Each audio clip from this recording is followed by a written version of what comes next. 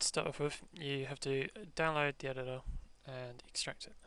So you say you go like this, extract to there. Next, you have to go My Computer, C drive, Program Files. In here, you need to create a new folder by doing wrong one. By going there, and you need to call it exactly this. Within this folder, you need to go into where is it? Down there, into there, and then copy across the file looping thing. In here, you need to go in here and just change this to whatever your file path is, making sure you have dots on the end, otherwise it does not work.